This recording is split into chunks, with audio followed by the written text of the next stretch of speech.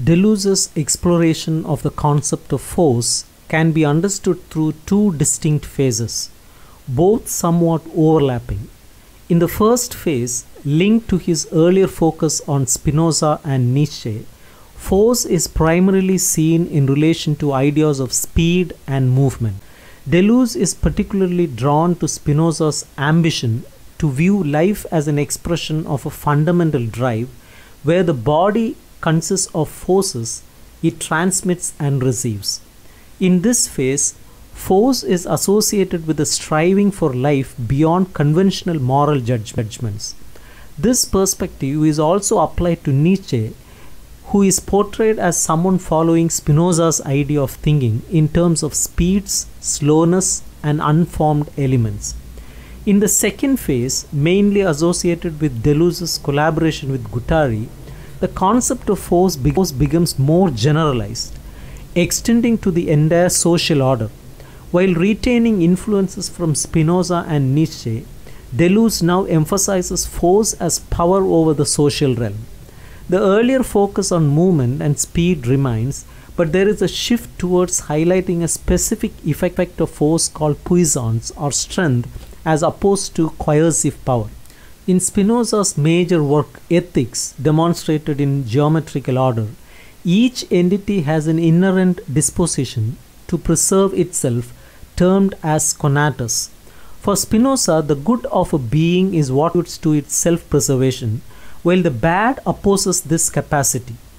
Desire in beings is directed towards what aids their self preservation. The strength of conatus determines a being's ability to act with pleasure accompanying increased capacity and pain accompanying diminished, diminished capacity. According to Spinoza, freedom is advanced when one's scope for action expands, achieved through a life guided by reason and knowledge. Deleuze, in his interpretation, connects power and action in Spinoza he emphasizes the inseparable connection between power and the capacity to be affected. This distinction is crucial for Deleuze's later development of a materialist ontology of constitutive power, a key goal in his collaboration with Guattari on the Capitalism and Schizophrenia project. While Spinoza laid the foundation, Deleuze sees Nietzsche as the, as the thinker who brought about a comprehensive amplification of Spinoza's principles into a full fledged ontology of constitutive power.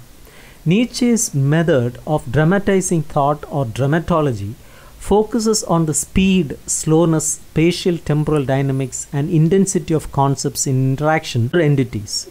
Nietzsche's approach challenges traditional representational thinking, which relies on notions of truth and falsity. Nietzsche proposes a topology and typology based on concepts like the noble and the base, the high and the low. Deleuze follows Nietzsche in advocate, advocating for a sense making approach that treats sense not as a fixed principle but as an effect produced by a specific machinery of thought. Nietzsche's aphorisms, according to Deleuze, are like machines that produce sense in a specific order unique to thought different from other, other orders such as those discovered by Freud or in political and practical contexts. The call is to be the machinists or operators of these thought processes. In Deleuze's interpretation, the key idea on Nietzsche's thinking is the concept of force.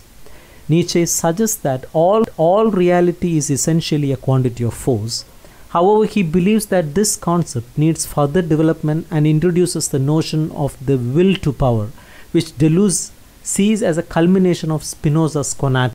The relationship between force and the will to power can be explained through several propositions. The essence of a force lies in its quantitative difference from other forces, and the quality of a force is defined by this difference. The will to power is the principle that enables synthesis of forces, allowing the emergence of both quantitative and qualitative aspects. Force and the will to power should not be confused.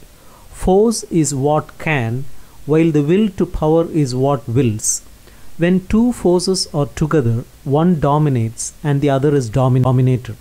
The will to power is the internal element driving the production of force. The will to power, according to Nietzsche, has a genealogical aspect related to the production of force. Chance is not eliminated by the will to power, as it remains flexible and open to contingency. Forces can be active or reactive, with affirmation and negation as primary qualities of the will to power. Reactive forces diminish or nullify the power of active forces. All sensibility involves a becoming of forces, categorized as active, reactive, developed reactive, and active becoming reactive. The eternal return indicates that becoming reactive is non being, producing becoming active and affirming the existence of becoming. When the first volume of the Capitalism and Schizophrenia project Anti-Oedipus was published in 1972, a new intellectual and political context emerged in France.